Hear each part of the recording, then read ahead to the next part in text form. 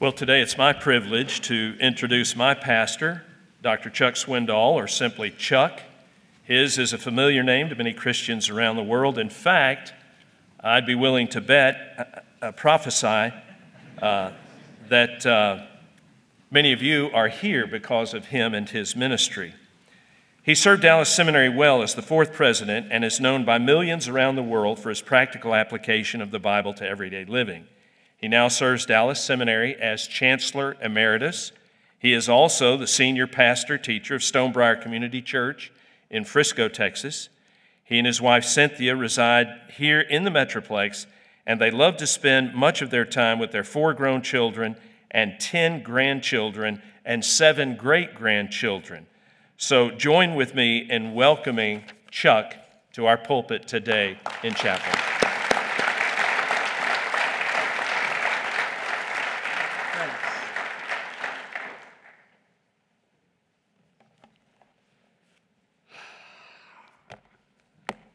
Good morning. It's always such a pleasure to be with you today, uh, today especially, and I thank you for your presence.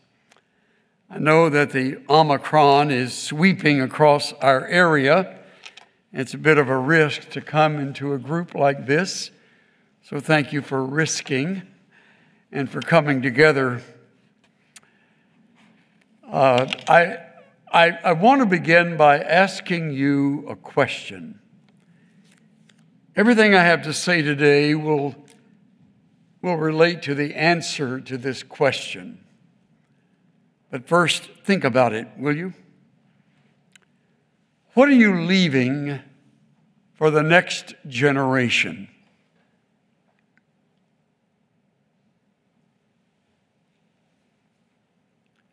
What will you pass on to those who will outlive you?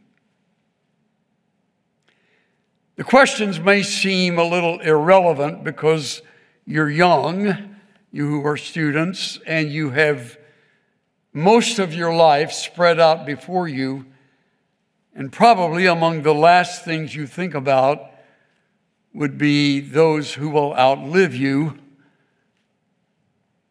But there will be many and as you minister in the years to come, you will meet them, you'll serve them, and you'll leave them with the lasting impressions that even your death will not erase.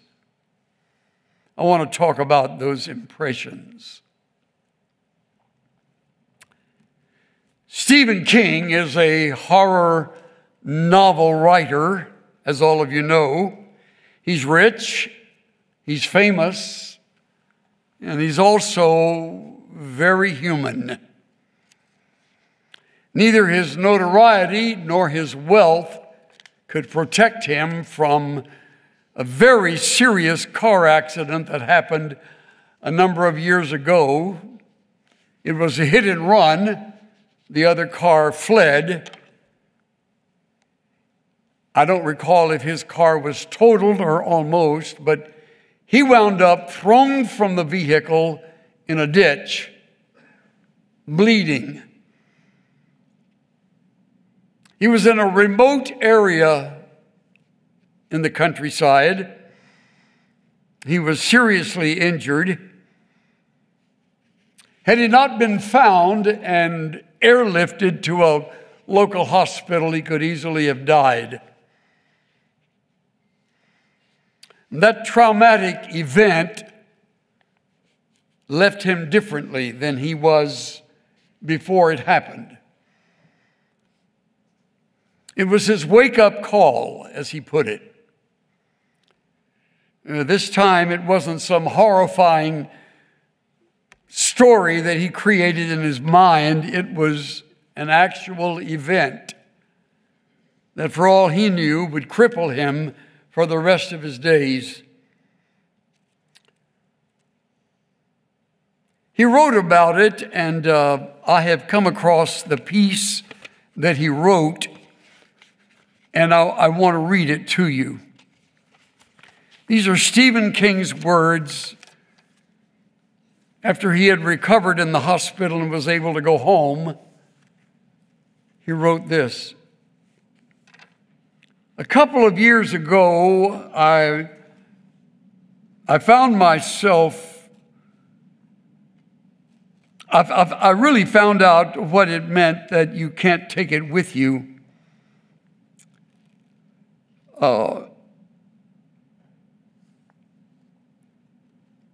I found out while I was lying in a ditch at the side of the country road, covered with mud and blood, and with the tibia of my right leg poking out of the side of my jeans like the branch of a tree taken down in a thunderstorm. I had a MasterCard uh, in my wallet, but when you're lying in a ditch with broken glass in your hair and blood all over you, no one accepts MasterCard. We all know that life is ephemeral, but on this particular day and in the months that, that followed, I got a painful but extremely valuable look at life's simple backstage truths. We come in naked and broke. We may be dressed when we go out, but we're just as broke.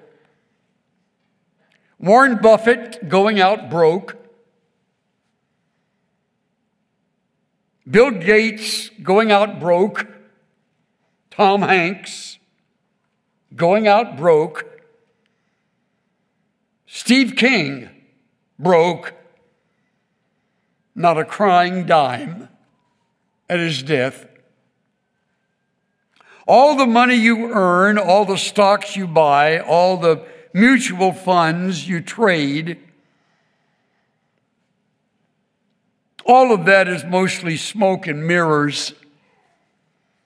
It's still going to be a quarter past getting late whether you tell time on a Timex or a Rolex. No matter how large your bank account, no matter how many credit cards you have, sooner or later, things will begin to go wrong. With the only three things you have that you can really call your own your body, your spirit, and your mind. So I want you to consider making your life one long gift to others. And why not? All you have is on loan anyway. All that lasts is what you pass on.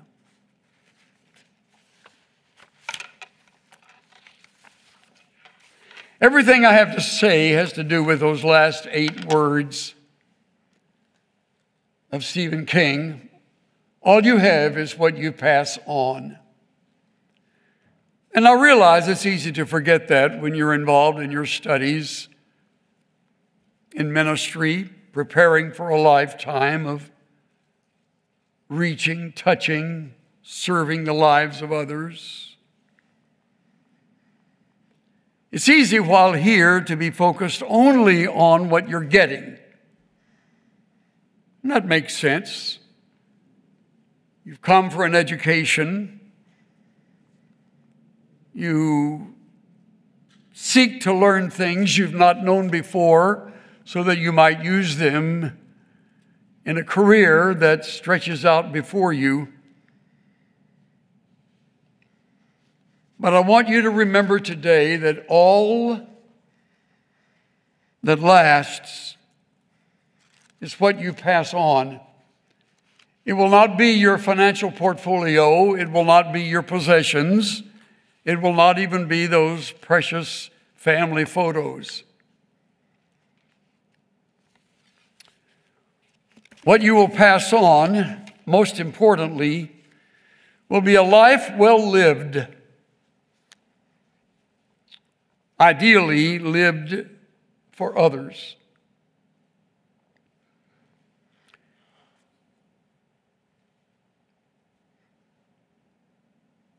The legacy of a series of life changing relationships that you cultivate in the years ahead. I would even add in the years you were at this school. In case you wonder what that might look like, you need not wonder any longer. Thanks to the Apostle Paul's careful work in Romans, we find a veritable checklist of the qualities that are worth passing on from one life to another. In the latter half of Romans chapter 12, all the attention that we give to Romans usually falls on the first part of the chapter. I'd like to emphasize the latter part. We haven't the time to cover all the verses that follow uh, verse 8. We usually give attention to verses 1 to 8. I'm looking at 9 through 16, actually, and I want to read the verses for you carefully and slowly. I want you to listen for characteristics in a life worth living.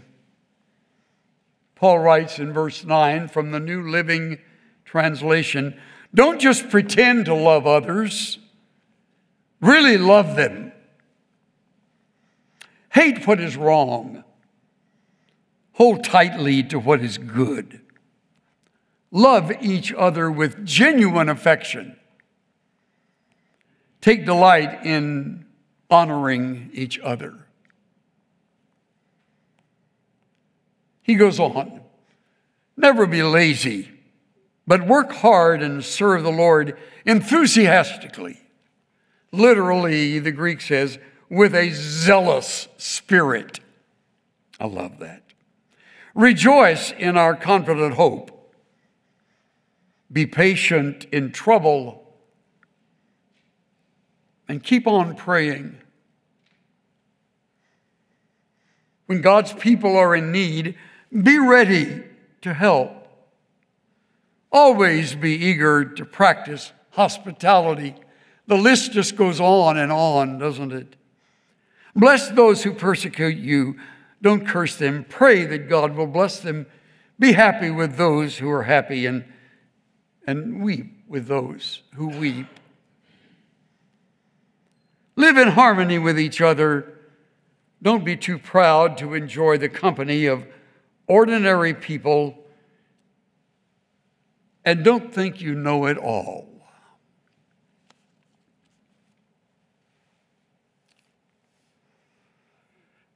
Candidly, uh, I don't know of a better list to shape one's life with than that list. Uh, I once preached on that section. I called it Christianity 101. It's the living out of the life of Christ, emphasizing these various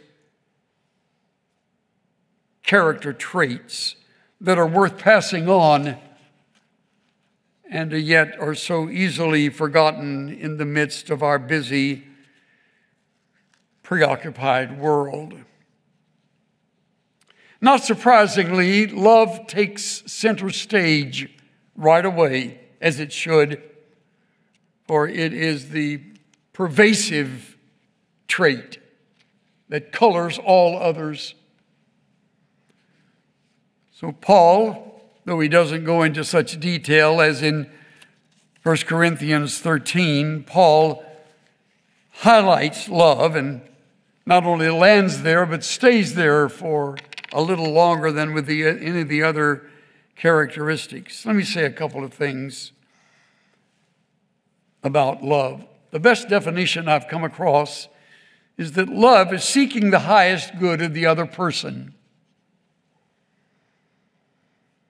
It's not making the other person comfortable.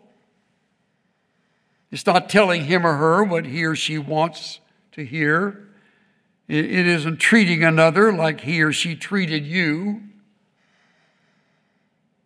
It isn't looking the other way when another does wrong. Love sometimes must be tough, even stern and, and always relentless. Other times, admittedly, it is soft and it is affirming, reassuring, and, and full of forgiveness and compassion. Why is it so important? As I said earlier, it colors all of these other traits John Stott puts it this way each staccato imperative adds a fresh ingredient to the apostles' recipe for love here in Romans 12. When it is lived out, it wears these various garments the first is, as you will see in this passage, it is unhypocritical. Literally, the verse reads agape anhypokritos, love unhypocritical. So the first side of the coin is sincerity, a love that's sincere. Uh, it isn't play acting, it, it isn't phony baloney. It isn't act one way and think another. It isn't something with hidden motives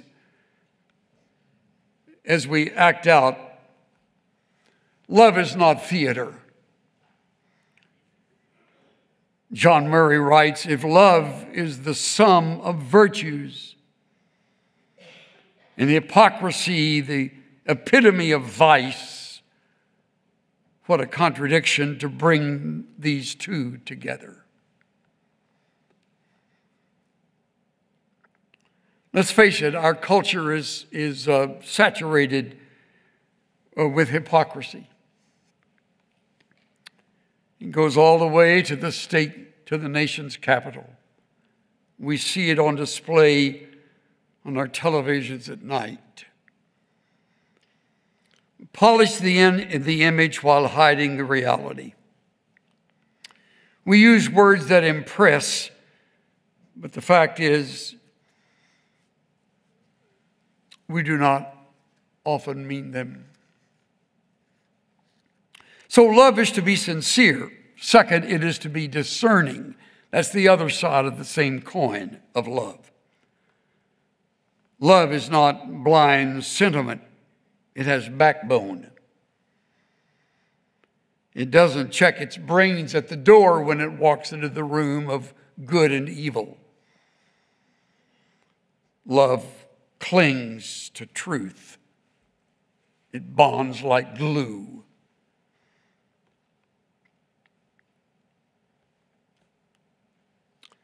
Remember, it's what you pass on that will last make sure that it includes a life of love.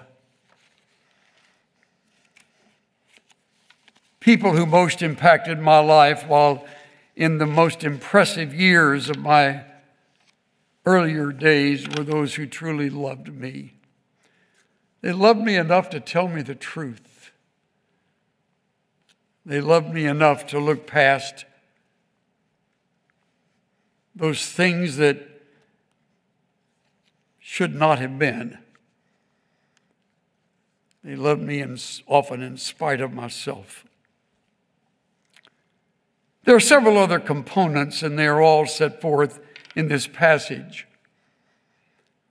He moves quickly to devoted affection. You'll see that here in verses 9 through 16. Verse 10 refers to devoted affection. Paul draws upon terms that are usually refer, reserved for the family familial affection, Philadelphia, the same kind of devotion that you find when family members are in harmony with one another. Let that be true in the family of God, he's saying. Deep familial affection, warmth and depth. And second, he mentions in verse 10 to honor one another, one of my favorite concepts. It works its way out in listening when they speak, caring about how they feel, paying attention to their opinions, and uh, showing gratitude for their lives and saying so. So important that we be demonstrative in these qualities. Third is one of my favorites enthusiasm, passion. This is not a shallow, superficial excitement like you'd see at a ball game. This is long lasting optimism true zeal about the work of the ministry. I urge you in that. I have a friend who said he learned at the school he attended that he did his best preaching when he preached on tiptoe. You live your life on tiptoe when you live it with zeal and enthusiasm. Some time ago, I came across a, a work titled The Art of Possibility by Benjamin Zander. Benjamin Zander at that time was the conductor of the Boston Philharmonic, also a teacher, a professor at the New England Conservatory of Music. He wrote this in a part of his book. Listen to what he says about enthusiasm. I love this example. I had listened to one of uh, my students who was a pianist. I watched her perform uh, Bach's Suite in D minor. And uh, I realized that uh, the student was able to play the piece and could handle it theoretically. I also saw a young pianist playing Chopin's Prelude in my master's class, and although we had worked right up to the edge of realizing the overarching concept of the piece, his performance uh, remained, well, earthbound, shall we say. He understood it intellectually he, he could have explained it to someone theoretically, but uh, he was unable to convey the emotional energy that, that the true language of the music held within it. And so, as I noticed it, I saw that his, his body was firmly centered in the upright position on this piano stool. And uh, so I blurted out can you imagine in the middle of this man's piece? The trouble is, you are a two buttock player, I yelled in the class. I encouraged him to allow his whole body to flow sideways from one cheek to the other on the bench, and he would catch the wave of the music. And and, and it, the shape of his own body would convey the enthusiasm of the music. Several in the audience gasped when I made my comment, but later they felt the emotional dart hit home as a new distinction was born. The one buttock player, he made the mention. He said, We had in the class that day the CEO of a company uh, from Ohio who was there with us. And he wrote me later and said, I was so moved by what you said, I went home and I formed my whole company around the idea of a one buttock company, uh, which is a whole new concept. I'm suggesting a one buttock ministry that you might think about. You've got to be careful who you suggest that to, however. he goes on to talk about a cellist. He said, I, I, I, I met Jacqueline Dupre in the 1950s when I was 20, and she was only 15. Get this. She was uh, just a schoolgirl who blossomed into the, the, the greatest cellist of her generation. What enthusiasm!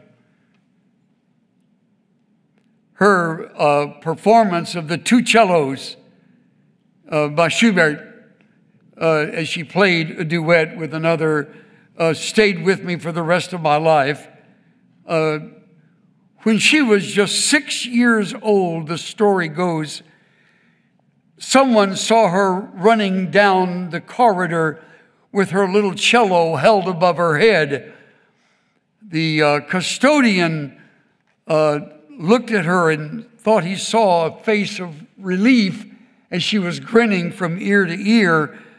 And so he referred to that, saying, How wonderful it must have been when you played she said, No, I haven't played yet, but I look forward to. I'm just about to play my, my piece. There was an excitement before she even went in to play her piece.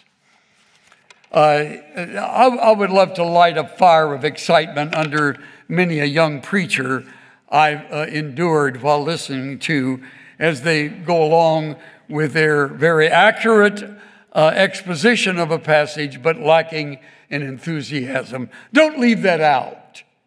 Don't forget that. Uh, it, it's amazing what happens in the pulpit and how it affects the pew. Uh, Howie Hendricks used to say, a mist in the pulpit puts a fog in the pew. Uh, a sleepy preacher puts people out right away. And therefore, I urge you to think seriously about a life of passion when you share that, literally, people do not forget.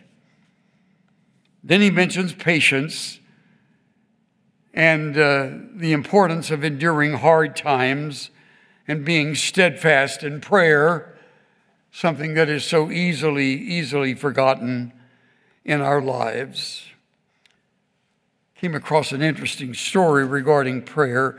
A group of young college students went to hear Charles Haddon Spurgeon preach. They had never been to the tabernacle in London, and therefore they had never seen him in person. They were waiting out in the cold while the doors were still locked, waiting for them to open. While they were there, an older gentleman walked up and asked uh, if, if, if they would like to come and see the heating plant of the church. They thought, well, they weren't interested too much in the heating plant, but it might be a place to get warm. And they didn't want to offend the old man, so they said, sure. So they walked behind him as they went down a stairway and came to a door that he opened slowly. And they looked inside, and there were 700 people on their knees.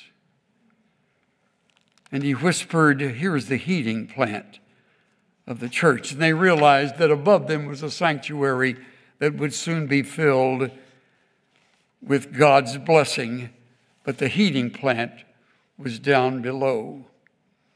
When it was all over, the older gentleman introduced himself to them. It was Spurgeon himself, who wanted them to know the value of prayer as it relates to the ministry of the Word. And I would emphasize the same to all of you. If you have a body of people who hold you up in prayer, you're a rich individual. Billy Graham used to talk about the one who would get the greater reward himself or the, the lady who prayed for him throughout his ministry back home. And he was quick to say, the greater reward will go to her. Encourage great commitment to prayer in your ministry, it will outlive you and it will not be forgotten by others. Fifth, he mentions generosity in verse 13. We tend immediately to think of being generous with money, but there are other kinds of generosity. Generosity of our time, generosity of interest and attention. When you talk to others, be sure you look at them rather than around them. Generosity of encouragement. These are all what we call random acts of kindness that mean so much to others. And then he mentions hospitality. You know what the, the uh, Greek term for hospitality mean? It really is. It, it really comes from the words love of strangers. Reaching out to those you've not known before. Make a habit of that in your life and in your ministry. It's, it, uh, we're not simply to be hospitable. This word here is pursue hospitality. Take time for those whom you've not known before and reach out to them. And then, of course, would be empathy. That would be both sympathy for those who are sad and the ability to rejoice with those who rejoice. We're better at the former than we are at the latter. When we see someone broken in grief, our hearts quickly are moved over that. But when another is promoted, how rarely we rejoice over their promotion. How good it is that you cultivate the habit of writing a note of congratulations to those who've achieved something of a particular uh, benefit or celebrative note in their life that's so valuable that you rejoice with those who rejoice. There's an old Swedish proverb that used to hang in a little frame in our kitchen at home that my mother would often read. Shared sorrow is a double, shared joy is a double joy. Shared sorrow is half a sorrow. The blessing in it is in the sharing of it. As a minister of the gospel, be one who shares in this in the lives of others. As they rejoice, rejoice with them as they grieve, take time to grieve with them. How valuable that is in ministry. It's all back to love, isn't it? Love sings when those around us are singing. Love mourns when those around us are weeping. Love laughs when those around us are cheery and filled with joy, love stays awake when those around us cannot sleep. All of this sets the stage for the seventh and final expression of true love that's worth passing on. This is one of the fairest flowers that ever grew humility. He mentions it in verse 16. He speaks here against our being snobbish, proud of our status, proud of our training, of our degrees, of our birth,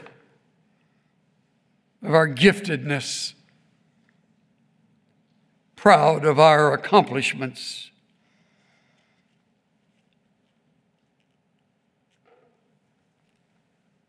The remedy is, is to remember how everything got started in your life. Remember where you were when you just began life. Years ago, my daughter and I were traveling from Southern California, younger daughter and I. We were going to Houston. And uh, it was a long trip. We loved it being together. We had stopped in a place uh, for, the, for the night uh, when we got nearer Houston. And uh, she was looking at the map. That's where we would be traveling tomorrow as we got to Houston. And she said, Oh, Daddy, she said, look here. Uh, we're we're going to we're gonna be on a road that's not that far from El Campo, which is the great white way of my birth. And uh, of course, you've never heard of it. And most people on the planet have never heard of it, but she had heard me talk about that little town of El Campo where I was born. She said, I'd love to go there. And I said, sure, we'd, we'd pull off and take that side road and visit there. I'd, I'd not been there since forever. So we drove in the town and was a little nostalgic, seeing some of the sights as you go through when you go to the place where you were born and spent your earliest years. She said, Do you know the, the house? I've heard you talk about it, where, where, where you were born. My dad used to say that all three of the kids were, were uh, birthed in the same bed where they were conceived. My mother never liked it that he told that to everybody he met, but uh, he was proud of it. She said, you, can, you think we can find that place? I said, Well, it's a little garage apartment. Maybe we can find Granddaddy's place, and then I'll take a right and another right, and I think that'll be. So I did that, and there it was.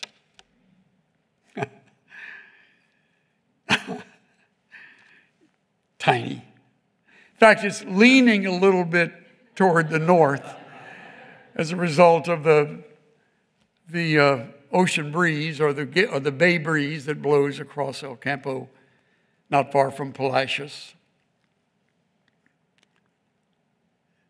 And she said, turn the, turn the motor off, turn the engine off. So I did. We just sat and looked at it. She put her hand over on mine. I'll never forget this. And she said, Gosh, Daddy. Like, is that it? I go, Yeah, isn't that impressive? That's, look at that. Then all of a sudden, she began to cry. She said, I think it's wonderful. I, I, I think it's great, she said, that I can see where it all got started. I remembered a statement one of the prophets made that we should remember the hole from which we were dug.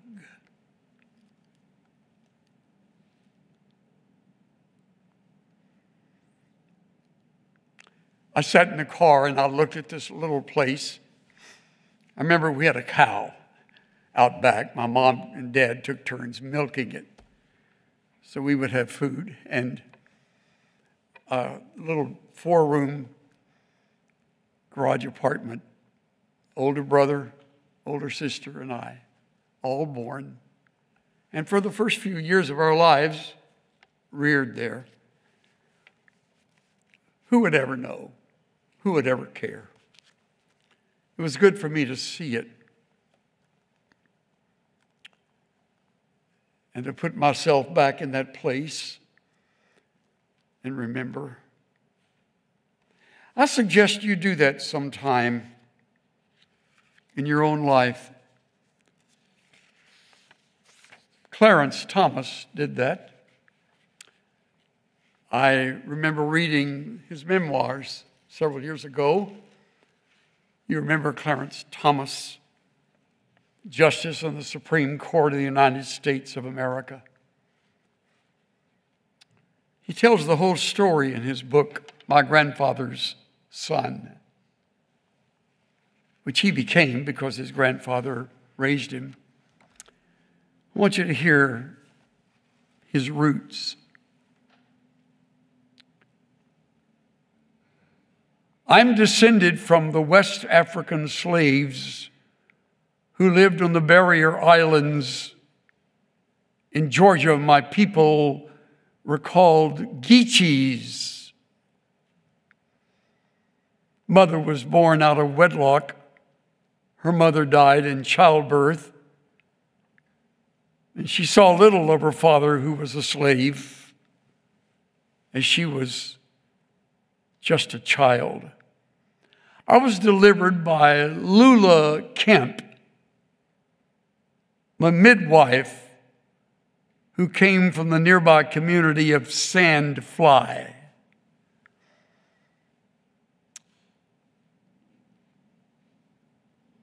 He, by the way, was born in Pinpoint.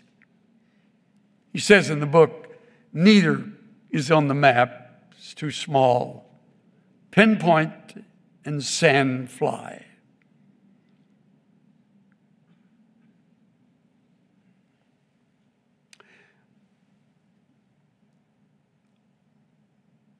Our lives were a daily struggle for the barest of essentials food, clothing, and shelter.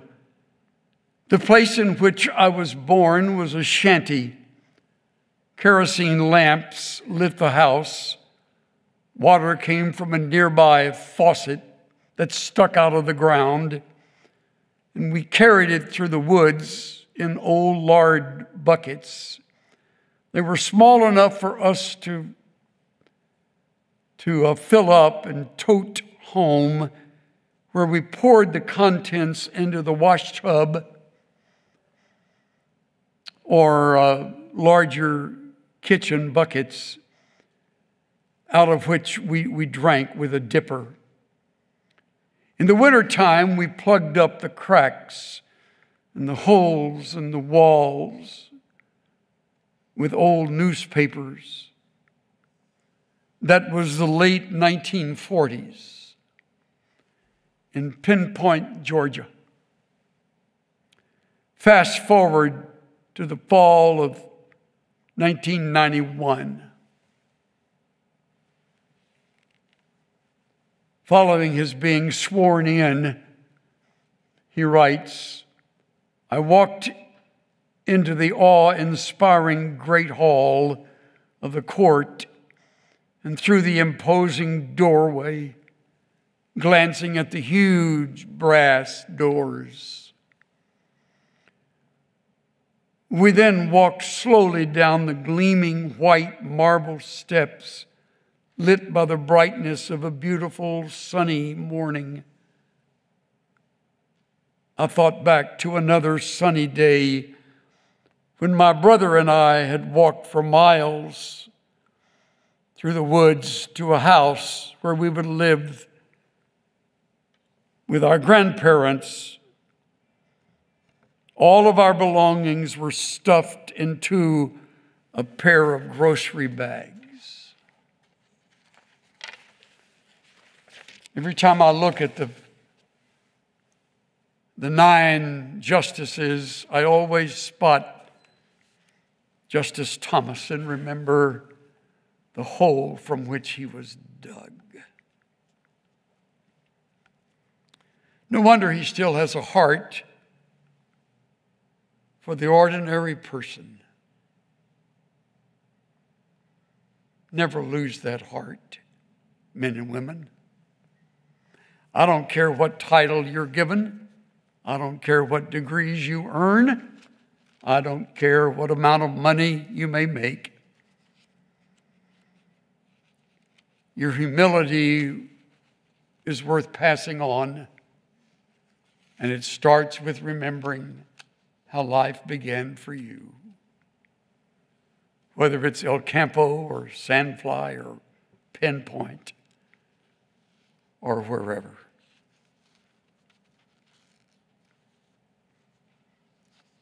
The man understands both extremes, doesn't he?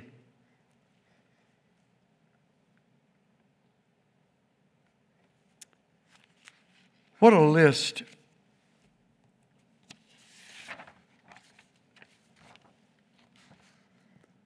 Devoted affection, honor and respect, enthusiasm and passion, patience, generosity, empathy and sympathy, humility and love. I think I'm probably looking into the faces of some whose love has been burned. I regret that for you because it probably has caused you to restrain yourself lest you be burned again. I want to caution you about that. People don't show love either because they're proud or because they're afraid of the risk. I hope, as the minister of the gospel, you will leave both aside and let your love flow. Don't forget to write the words, I love you, to others outside your family. Use the pronoun. And when you're with them, don't be afraid to say it.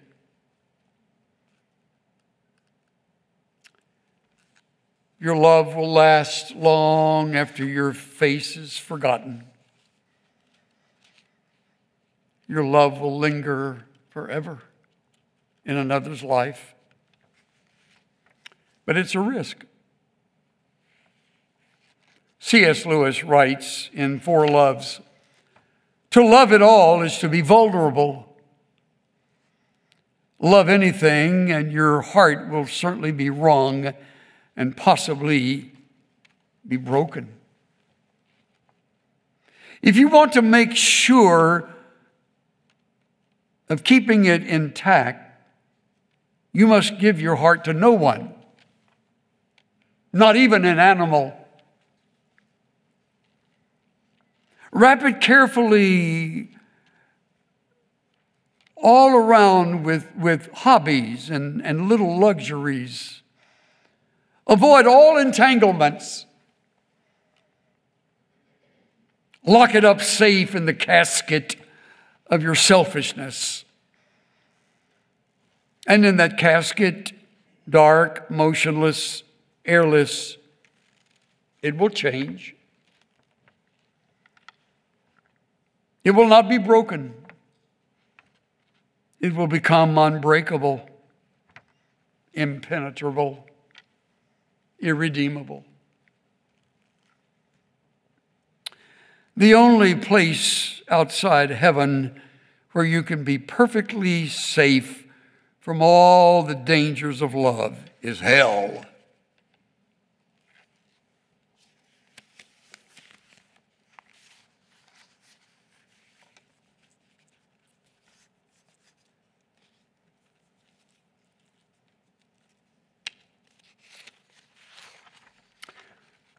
What are you passing on to others? Those who will outlive you. Give it thought. Because, as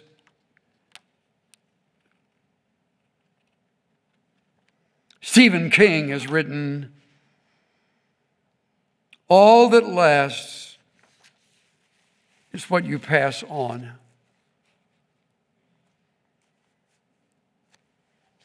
All that lasts is what you pass on.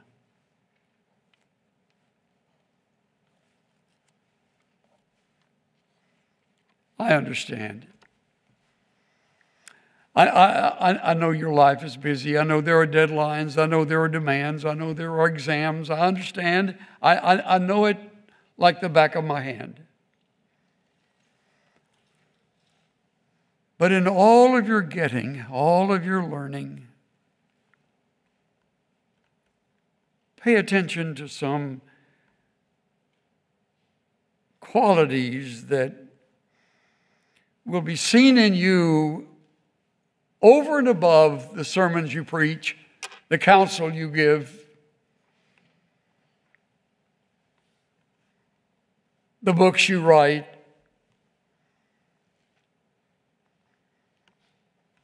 give attention to these qualities.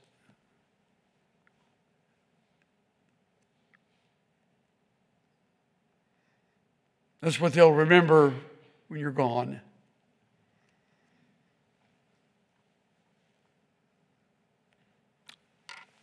Bow with me, please.